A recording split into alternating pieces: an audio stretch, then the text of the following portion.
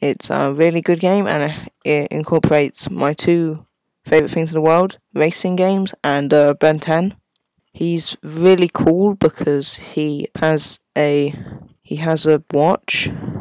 He has a watch which goes around his wrist, which is called an Omnitrix, and it allows him to transform into many different people. Now, I'm a big fan of this game. I've played it a few times before, and I've, um, I think it's safe to say it's my favourite game I own. I think its 3D racingness is really cool. It's comparable to Mario Kart, but I feel like the characters are cooler in most ways. See here I've got a protective thingy. I don't believe they have in the Mario in the Mario Karts. And see that was a rainbow laser. There's I can name like ten reasons this is a better game.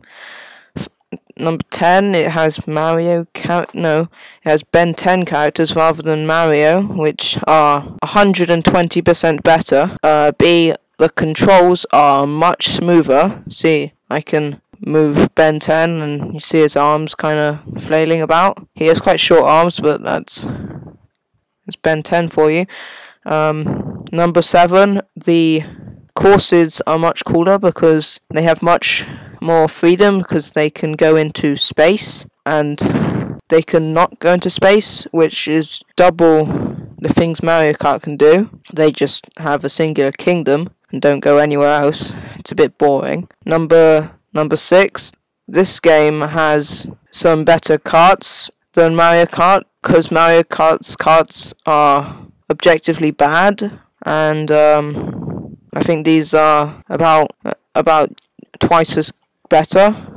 And um, this game, the the items are cooler. See, that has green slime. I don't believe Mario games have green slime, so that's at least two points to Ben 10 Galactic Racing. There's another version of this for the Xbox 360, I believe, but that one's not as cool because I haven't played it. Um, uh, yeah, as you can see, I'm actually in second place. I'm doing all right. Uh, so yeah, my top point is I've now I've got the controls down. I can see that they're at least 30 times better than Mario Kart. They have.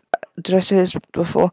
They're smoother. Anyway, I got second place there. That was pretty good. So um, this is probably. Uh, I think it's quite easy to say the best game in existence. Uh, yeah. Thanks for watching my top 10 best games. Um, yeah.